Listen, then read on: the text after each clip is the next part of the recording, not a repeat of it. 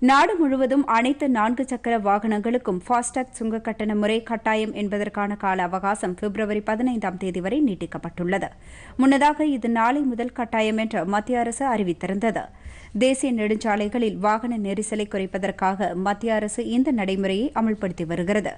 FASTag முறையால் இருபது முதல் இருபத்தி ஐந்து மீட்டருக்குள் வாகனங்கள் வரும்போது ரேடியோ அதிர்வு எண் உதவியுடன் தானியங்கி தடுப்புகள் விலகும் என்பதால் நெரிசல் மட்டுமின்றி காலவிரயம் தவிர்க்கப்படுகிறது.